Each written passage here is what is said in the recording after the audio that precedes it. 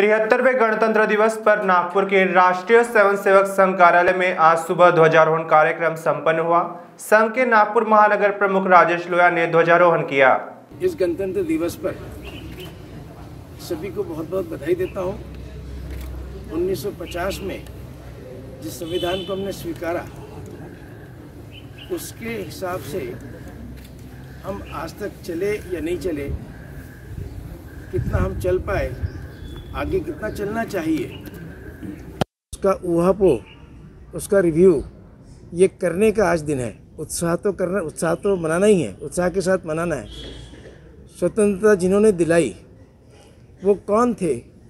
कौन कौन क्रांति की, क्रांतिवीर इसमें शहीद हुए? कौन कौन सी व्यवस्थाएँ इसमें लगी? और तब जाके हमें स्वतंत्रता मिली। इसको ध्यान करना, उसका स्मरण करना। और इस दिवस को मनाना, मुझे लगता है कि आज ये बहुत ज़रूरी है। इसी के साथ जैसा हम अपने जन्मदिन के दिन कोई निर्णय करते हैं, संकल्प करते हैं कि भाई आज तक जो मैं नहीं कर पाया, वो आज के बाद करूँगा। यही अपने देश के लिए भी हमें स्वीकार करना होगा।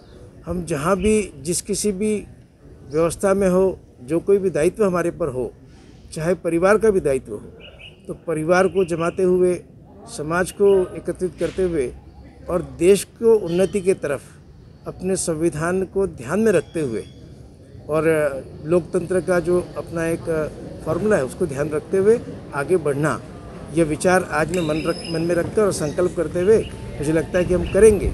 तो ये जो लोकतंत्र हमने स्वीकार किया है, ये जो संविधान हमने स्वीकार किया है, वो चिरायु हम जो कहते हैं रहना चाहिए, वो निश्चित रूप से रहेगा पुनश्च सबको बहुत बहुत शुभकामनाओं के साथ। बाय सब जानना चाहते हैं। मेरा फेवरेट कलर मेरा फेवरेट डेस्टिनेशन मेरी फेवरेट डिश पर कोई ये नहीं पूछता कि फेवरेट डिश मैं बनाती कैसे हूँ। अरे यार जिसे टेस्टी खाना पसंद है वो अच्छे टेस्ट तक पहुँच ही जाता है। सुरुचि मसाले। खाने में हो रुचि तो घर लाइए सुरुचि।